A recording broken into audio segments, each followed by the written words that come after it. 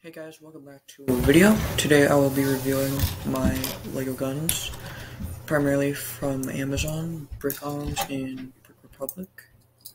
So, um, I have around 20 or 30 of them. I don't know how many. But, um, so I'm going to be reviewing each of them. So, first we have a tactical shotgun. So, um, I think it might have been from Brick Arms or Brick Republic, but overall they're pretty cool. So next, I have these are from like something from Amazon, like a pack of military weapons. I'll send a link down in the description. Um, these some of these are from Mega Bloks, like Call of Duty and Halo and Destiny.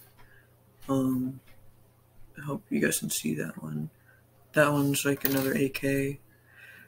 Um, this one's also another AK or an AR. This one's definitely an AR.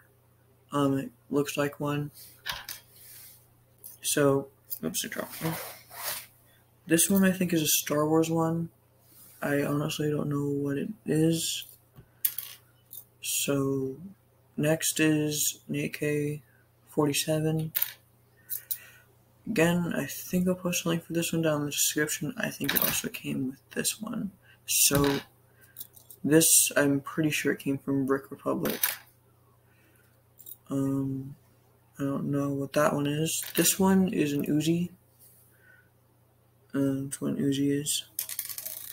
This is a Destiny gun. So, yeah, it's from the Mega Construx Destiny sets.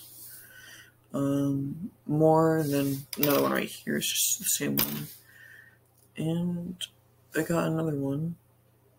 Don't know what that one is. Most of these I don't know what they are, but um, pretty sure. I think it's this one or that one is an MP5. No, this one's a bullpup. But these are some more ARs and stuff like that. So yeah, um, I just want to show you them to you guys. Um, just want to know what you think. So please like and subscribe, and don't forget to check out um, my affiliate link for um, Brick Arms. If you use my discount code, you get 10% off. Uh, thank you for watching.